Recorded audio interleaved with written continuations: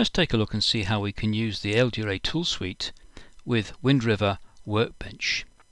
So let's start by looking at Wind River Workbench.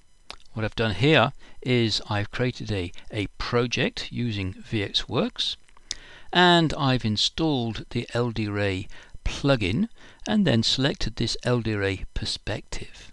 Here we can see I've got my, my source code, simple example where I've got a main that spawns a couple of tasks, they communicate together, and after a certain time then these tasks get, get deleted. So first thing I want to do is to do a, a static analysis on this and see how this code conforms to a particular coding standard. Well, I've already done that to save time and here we can see that I've got a list of the various violations. If I double click, it's going to take me to the appropriate place, and there we can see that loops equals 50. Well, loops is probably unsigned, and I really need to have a U at the end to indicate it's an unsigned number. So that's one way of viewing the, the, the violations. Another way is I could do a code review report, and there we can see exactly what's happened. We can see the various violations we can see the, the rules that I've checked and there we can see the violation that we saw.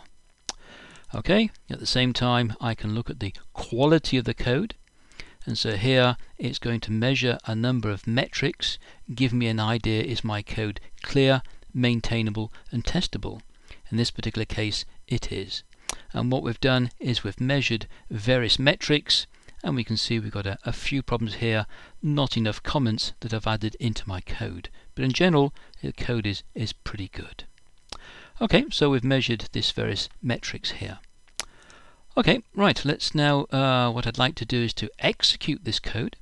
And as it executes, I want to be able to get the, the code coverage. So let's perform this. So what's going to happen now is it's going to instrument the source code, then it's going to do the build, so we can see it doing the build now. And then it's going to start up, in this particular case, the VxWorks simulator.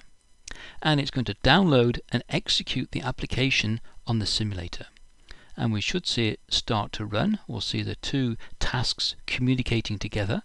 And after a certain time, it should then stop and close down. So just running for a few seconds here, we can see it's printing information out.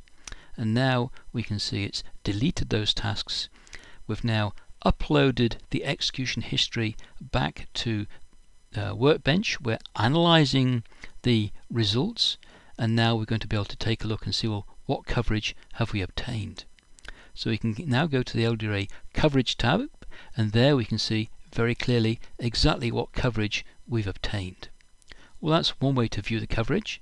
Another way is we go to the dynamic view and if I double click on here we can scroll down and again we can see in this case we've measured the statement coverage, branch coverage and well there's no MCDC in this particular code.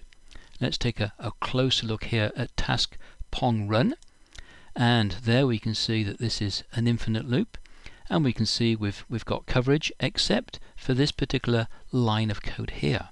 Why haven't we executed that? Well, very simply, semtake has never returned error. And if I wanted to get coverage from that, then what I could do is I could use the unit testing in order to get coverage from that. But very quickly, there's a, a quick overview of using the LDRA tool suite within the Wind River Workbench environment. And if you want further information, then please visit our, our website.